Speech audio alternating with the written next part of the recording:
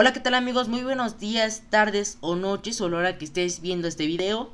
Vamos a dar el reporte al volcán Popocatépetl de hoy, 2 de diciembre de 2020.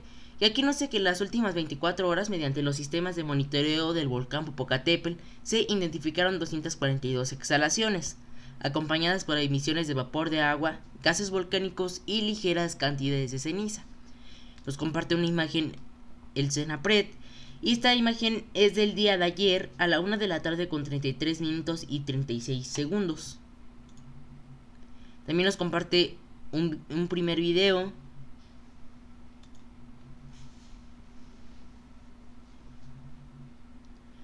Vamos a esperar que cargue.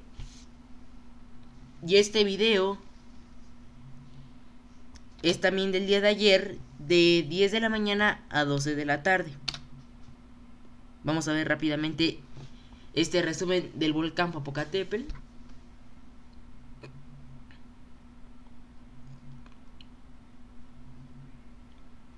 Como estamos viendo actividad muy normal, eh, estaremos checando eh, también la base de los datos de los sismogramas. Y también comentarles que si llega a haber alguna cosa importante en el volcán Popocatépetl lo daremos a conocer rápidamente en el en vivo de YouTube. Así que eh, no se vayan a otro canal, estén aquí al pendiente. En caso de que llegue a algo, nosotros nos enlazaremos rápidamente al canal. Aquí nos dice que adicionalmente se registraron 170 minutos de temor de baja amplitud y un sismo vulcano tectónico registrado ayer a las 17 horas con 15 minutos con magnitud calculada de 1.4. Durante la noche y la mañana se observó una ligera emisión de vapor de agua y gas. Al momento de este reporte se tiene visibilidad parcial del volcán Cualquier emisión se tendrá dirección al este. Tenemos un segundo video. Y este video es del día de hoy. Dejen que cargue. Del día de hoy, de 4.45 de la mañana a 6.45 de la mañana. Ahí estamos viendo al volcán Popocatépetl con ligeras emisiones. Alcanzamos ahí a percibir un poquito de tremor, muy normal el volcán.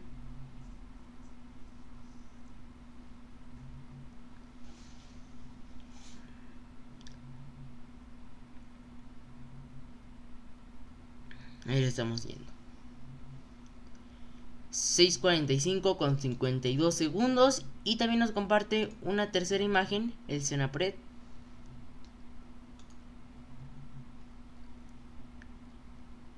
Y este reporte es de 7 de la mañana a 9 de la mañana.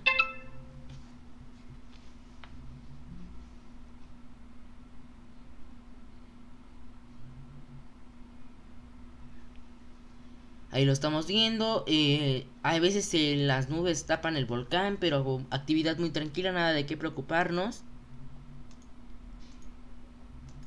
Así que seguiremos aquí al pendiente.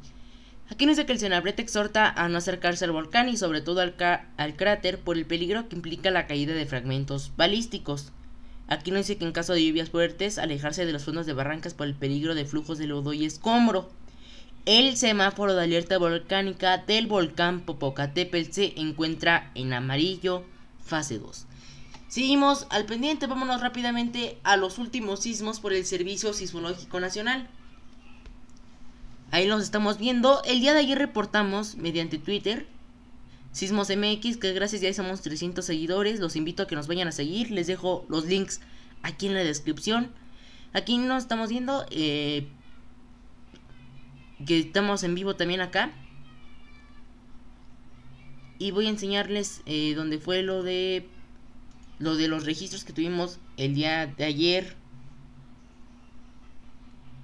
aproximadamente a la a las 2 o 3 de la mañana más o menos. Ahorita voy a leer bien la información.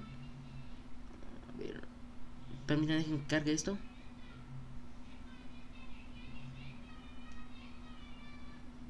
A ver, magnitud. y la norte les voy a enseñar los reportes mundiales.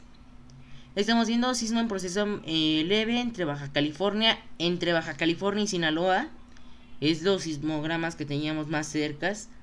Eh, entonces eh, eh, ya después el Servicio Sismológico Nacional nos cambió y fue en Sonora y Baja California Sur, entre Baja California y, Sonora. Y como estamos viendo aquí está Sinaloa. Aquí es donde nosotros contábamos el epicentro que era lo más cercano. Pero ocurrió acá y estamos viendo, aquí estamos viendo como que un enjambre sísmico. De hecho los que alertamos fueron de magnitud 4.1 y 4.2, que ahí está lo que estamos viendo. Así que eh, esto es actividad muy normal. Recordemos que los enjambres ocurren muy muy seguido. Así que no se preocupen por esa actividad. Vámonos eh, acá por Puerto Vallarta, Jalisco. Sismo de magnitud 4.7 con una profundidad de 10 kilómetros. Este sismo no lo reportamos ya que la estación se encontraba en eh, pues, Michoacán y la cercanía pues era muy nula que se sintiera el movimiento. Así que no tuvimos percepción aquí en la Ciudad de México y estuvimos checando rápidamente la información y vimos una magnitud aproximada de 4.8. Ahora vámonos acá, eh, la mira Michoacán, eh, sismo de magnitud 4.3 reportado por la aplicación Sismos MX con una profundidad de 5 kilómetros. De este lado tenemos otro sismo en Pinotepa Nacional, Oaxaca, de magnitud 4.2 con una profundidad de 12 kilómetros. Sismo también reportado por la aplicación Sismos MX. Y ahora vamos a ver este sismo de magnitud 4.1 en Matías Romero, Oaxaca, con una profundidad de 9 kilómetros. Eh, nos estuvieron comentando por qué no eh, detectamos estos dos sismos. Les voy a dar rápidamente la información. No dimos estos dos sismos eh, ya que los, los sensores más cercanos, bueno, los sismogramas más cercanos es el de Tapachula, Chiapas y el otro sería de Comitán, Chiapas, que se encontrarían más o menos en estas partes de acá.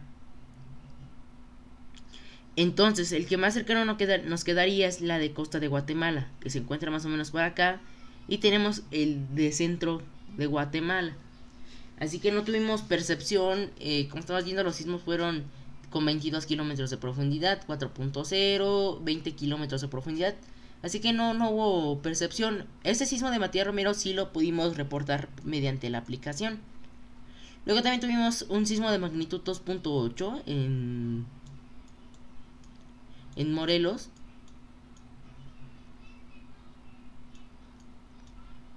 Y este se encuentra muy cercano al volcán Popocatépetl, pero no tiene relación. Ahí lo estamos viendo.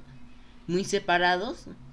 Así que no tiene nada en relación. Actividad muy tranquila, nada de qué preocuparnos. Y recordemos que un sismo puede ocurrir en cualquier momento y para eso estamos aquí en el canal y para eso creamos la aplicación, para que ustedes estén monitoreando mediante la aplicación que le metimos una nueva actualización, ya subí video, lo pueden ver aquí en el canal. Así que les dejo en los comentarios el link para que descarguen Sismos MX, también únanse a Telegram, también tenemos Telegram, tenemos WhatsApp, tenemos Twitter y mediante la aplicación eh, próximamente la tendremos por mediante eh, Facebook, que es lo que estamos en proceso de instalación. Así que les sigo agradeciendo a los 300 seguidores. Seguiremos creciendo en esta aplicación. Así lo pueden encontrar en Play Store. Sismos MX o CCMX. Así lo pueden encontrar. Así que vayan a calificarnos, vayan a decirnos qué es lo que nos está fallando. Y ojalá podamos corregir, corregir si tenemos algún error. Sismos mundiales, ¿qué nos hablan de sismos mundiales? 5.2 en Chile, en Antofagasta, Chile. Otro sismo de magnitud 4.5 en Grecia. 5.2 en Tonga. 4.7 en Perú, también lo reportamos por la aplicación. El, ante todo, Twitter es más de sismos mundiales y sismos de México, que también lo notificamos casi igual que lo de la aplicación. Sismo de magnitud 4.7 localizado en Japón sismo de magnitud 4.5 en Indonesia, 4.5 en Alaska, que son las réplicas del sismo de magnitud 6.1, si, no si no mal me acuerdo, 4.8 en Tonga y 6.2. Ahí lo estamos viendo, Islas Balleny. Y son los últimos sismos que tenemos reportados por el USGS. Actividad muy tranquila, estaremos checando información en caso de que llegue a ver eso. Eh, vamos a irnos directamente a lo que se está haciendo tendencia en Twitter. Y es sobre eh, la vacuna de COVID-19. Vamos a esperar que nos cargue. secretario de Relaciones Exteriores de México. Te encargo unos minutos. Secretario de Relaciones Exteriores de México. ¿Y es el que autoriza el Reino Unido la vacuna desarrollada de COVID-19 en México? Ya tiene la, la autoridad regulatoria. Aquí nos dice que la solicitud, la solicitud correspondiente fue mediante la Secretaría de Salud. Eh, lo que aquí nos dice que lo que muchos suponían imposible ahora es una realidad, que es lo que nos está comentando en estos momentos. Eh, aquí nos dice que también eh, nos está asegurando que la vacuna está por iniciar en diciembre de 2020. ¿Esto qué nos quiere decir? ¿No va a que ya va a acabar la pandemia? No, esto nada más es para controlar el número de contagios y ahora sí, mediante disminuyan el número de contagios, ahora sí seguiría la nueva normalidad, a la nueva normalidad a la que nos debemos acostumbrar porque así vamos a vivir todos los días, todos los años con esta pandemia. Así que estaremos actualizando la información en cuanto haya eh, más informes sobre esto y pues seguiremos eh, monitoreando las 24 horas del día si llega a ocurrir un sismo y nosotros aquí seguimos en Twitter todos los días, las 24 horas del día, monitoreando. Así que cuídense mucho y nos vemos más al rato con más información.